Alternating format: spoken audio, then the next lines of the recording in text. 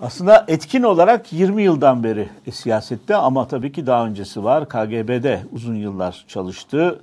Rusya'ya ciddi bir şekilde damgasını vurmuş bir lider oldu. Tabii ki şimdi de hem bölgede hem de dünyada etkin bir lider. Ciddi bir ekonomik sıkıntısı sıkıntı yaşıyor ülkesi Rusya ama görüyoruz ki son 5-6 seneden beri Rusya bölgede son derece aktif rol oynuyor ve her bağlantımızda zaten dile getiriyoruz. Tek ata oynamıyor. Mutlaka birkaç ata birden oynuyor diplomasisini ve çok akıllı bir şekilde e, bölgede etkin oluyor. Çoğu zaman ara bulucu olarak görev yapıyor. Çoğu zaman da karar mekanizmasının tam ortasında yer alıyor Rusya. Onun da başında Vladimir Putin var. İsterseniz Vladimir Putin'in 20 e, yılını bir şekilde size hatırlatalım, anlatalım. Çünkü Rusya Anayasası'nda değişiklik yapılmasının sinyalini verdi. Dolayısıyla Putin'in belki bir daha seçilmesi söz konusu olmayacak. Bunun tabii daha detaylarını birazdan Moskova'dan alacağız. Rusya Devlet Başkanlığı'nı düzenleyen müteakip en fazla iki görev süresi ifadesindeki müteakip kavramı silinebilir. Bunun sonucunda da Putin bir kez daha aday olmayabilir. Biz biraz size Vladimir Putin'i tanıtalım fotoğraflarla ve 20. 20 yılına bir şekilde o fotoğraflarla anlatalım. Kimlerle e, beraberdi, neler anlattı? Rusya Devlet Başkanı Vladimir Putin iki hafta sonra göreve başlamasının 20. yılını kutlayacak. 20 yıldır devlet başkanı ve başbakan olarak Rusya'yı yöneten Putin çok sayıda jeopolitik krizi atlatmayı başardı bunu zaten biz de bir şekilde bültenlerimize yansıtıyoruz. Eski bir KGB ajanı 31 e, Aralık 1999'da göreve başladı ve o yıllarda Amerika'yı Bill Clinton, Türkiye ise o yıl başbakanlığı Mesut Yılmaz'dan devralan Bülent Ecevit yönetiyordu o göreve geldiğinde. O tarihten bu yana da 3 ABD başkanı, 4 Türkiye başbakanı ve 5 İngiltere başbakanı değişti. Küresel çatışmalardan yerel skandallara, spor başarılarından propaganda görsellerine, Rusya liderinin son 20 yıldaki fotoğraflarına bir şekilde bakalım istedim doğrusu. Eski KGB ajanı Rusya Ekim 99'da İkinci Çeçenistan Savaşı'nı başlattığı yıllarda başbakandı.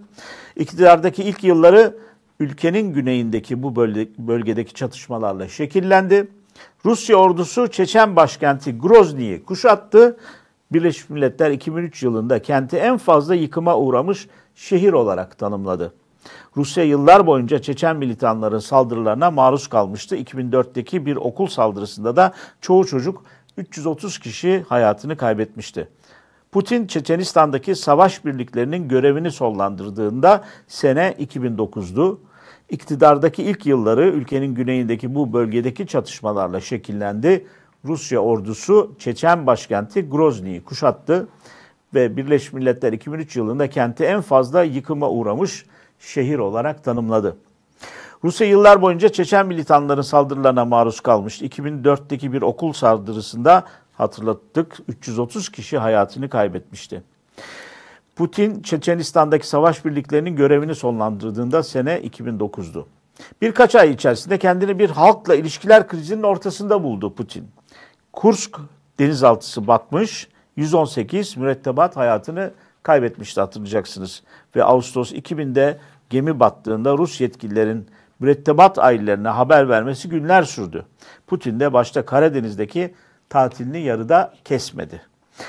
Putin iktidardaki ilk 10 yılında Batı ülkelerinin dış politikalarını eleştirse de batılı liderlerle iyi ilişkilere sahipti. Rusya 2006'da ilk defa G8 zirvesine ev sahipliği yaptı. Rus kanunlarına göre bir devlet başkanı üst üste en fazla iki dönem görevde kalabiliyor aslında. Bu yüzden Putin 2008'de 4 yıllığına başbakan oldu. Yerine geçen Dimitri Medvedev pek çok kişi tarafından Putin'in hatta kuklası olarak da adlandırıldı. Gürcistan 2008'de ayrılıkçı Güney Osetya bölgesinde kontrolü ele geçirmek için ordusunu bölgeye gönderdiğinde Rusya Gürcistan'ı işgal etti. Ağustos ayındaki kısa süreli savaş Batı ülkelerini tabii ki alarma geçirdi. Fakat Putin'in Batı ile ilişkilerini daha da kötüleştiren hamle 2014'te Ukrayna'ya askerlerini göndermesiydi. Rusya'nın Kırım'ı ilhakı Avrupa Birliği ve Amerika'nın yaptırımlarına yol açtı. Ülkenin G8 üyeliği donduruldu. Suriye'deki çatışmaların dördüncü yılında Rusya müttefiki olan Suriye Devlet Başkanı Beşar Esad'ı desteklemek için çatışmaya dahil oldu. Putin'in Rus savaş uçaklarını ve zırhlı araçlarını bölgede görevlendirmesi sağdaki tabii ki dengeleri bir anda değiştirdi. 2016'ya geldik. Amerika'da Donald Trump'ın göreve başlamasının ardından Amerika İstihbarat Teşkilatları Rusya'nın Amerika başkanlık seçimine etki ettiğini tespit etti. 2018'de ise İngiltere'nin Salisbury kentinde eski bir Rus ajanı Sergey Skripal'in zehirlenmesinin ardından İngiltere Rusya'yı suçladı. Putin'in Türkiye ile ve Cumhurbaşkanı Recep Tayyip Erdoğan'la ilişkisi de inişli çıkışlı oldu diyebiliriz. İki ülke arasındaki ilişkiler Türkiye'nin bir Rus savaş uçağını düşürmesinin ardından son yıllardaki en gergin noktasına ulaştıktan sonra Türkiye'nin özür dilemesiyle bu ilişki düzelmeye başladı. Bugün Putin ve Erdoğan Suriye'de işbirliği yapıyor. Rusya Türkiye'ye S-400 ve nükleer santral satıyor. Putin iktidarda kaldığı süre boyunca hem ülkesinin hem de kendi imajına çok önem verdi. Bu fotoğraflarla da birazcık Putin'i tanımış olduk söylediğimiz şeylerle. Biraz da kendisini güçlü bir erkek imajını da gördüğünüz gibi sıkça veriyor. Spor yaparken, uçak kullanırken e, ve de e, ormanda e, görüntülerle güçlü bir erkek imajını da Vladimir Putin veriyor. Şimdi Şimdi İkbal Düre'ye, doçent doktor İkbal Düre'ye Moskova'ya bağlanalım. Moskova'da bizi bekliyor kendisi. Ee, Putin'i tanıtmak istedim İkbal Hocam birazcık. Ee, çünkü çok sık bir şekilde e, anıyoruz Rusya ile her bağlantımızda ve de dışında. Ve Türkiye ile de çok ciddi ilişkileri şimdi sürdürmekte. Ee, Cumhurbaşkanı Erdoğan'la olan e, bir şekilde iletişimi oldukça güçlü. Dikkat edersek bugün e, Cumhurbaşkanı Erdoğan İdlib'deki çatışmalardan bahsederken sadece Suriye'den bahsetti. Hiç Rusya'nın Suriye'ye destek olduğunu, orada uçaklarıyla destek olduğunu, yardım ettiğini, bombaladığını uçakların hiç söylemedi. Dikkatli davranıyor Putin'e karşı sanki söylemlerine. Ne diyorsunuz? E, iki taraf da öyle. E, Rus yani Putin de çok dikkatli e, davranıyor e, Türkiye ile ilgili söylemlerinde. E, deyim yerindeyse iki lider de birbirlerine toz kondurmuyor. E, ama tabii ki bu e, çelişkilerin olmadığı anlamına gelmiyor. Sadece bu çelişkileri yapıcı bir şekilde çözme azmi olduğunu anlamına geliyor bence. Ama siz Putin'i o kadar güzel anlattınız ki bana da söyleyecek bir şey bırakma. Öyle mi? Yani bilmiyorum katıl, katılır mısınız? Yani ben Şöyle, birazcık kronolojiyi özetledim aslında yapmak istediğim güzel. oydu. Aslında asıl Putin'i anlatacak olan sizsiniz çünkü yaşamınızda birebir hissediyorsunuz orada iç politikada neler yapıyor, ee, ekonomik sorunları gidermek konusunda e, becerisi var mı? Bu diplomasi becerisi bir şekilde oraya da yansıyor mu? Hiç kuşkusuz. Yani e, ben e, 1998 yılından beri Rusya'dayım. Tabii Türkiye'ye gidip geliyorum ama tatile. E, dolayısıyla bu dediğiniz e, gelişmeleri çok yakından takip ettim. E, şöyle diyebilirim yani e, 1999'da Yeltsin'in Putin'e devrettiği Rusya ile şu anki Rusya arasında dağlar kadar bir evet. e, fark var. Putin'in e, Rusyası farklı çok farklı. Mesela o dönemlerde efendim profesörlerin, generallerin pazarlarda patates sattığı, ambulansların taksicilik yaptığı ve dolayısıyla da e, özgüvenini kaybetmiş e, bir topluma sahip olan e, Rusya'dan bugün e, tamamen e, kendi özgüvenini kazanmış e, bir halka sahip olan e, bir Rusya'dan bahsediyoruz. Bu da tabii ki Putin'in başarısı. Ama diğer yandan da dediğiniz o kronolojik olayları sıralarken Gürcistan'dan başlayarak bahsetmiş olduğunuz olaylar tabii Rusya'nın dış politikasına da dış e, ilişkilerine de direkt yansıdı. Çoğu zaman da olumsuz olarak. E, dolayısıyla e, Putin sadece iç sorunlarla değil dış sorunlarla da mücadele etmek zorunda kaldı. Ama bir yandan da e, Allah da yardım etti diyebiliriz. Şunu demek istiyorum. Yeltsin e, döneminde biliyorsunuz petrol fiyatları e, 11 dolara 12 dolara düşmüşken Putin 140 dolarları yakaladı. Yani bazen her ne kadar KGB'ci e, Hristiyan da olsa bazen Allah Müslüman liderlerden çok Hristiyanlara yardım ediyor. Neyse öyle bir durum var. Ama tabii her şeyi başarıyla mı yaptı?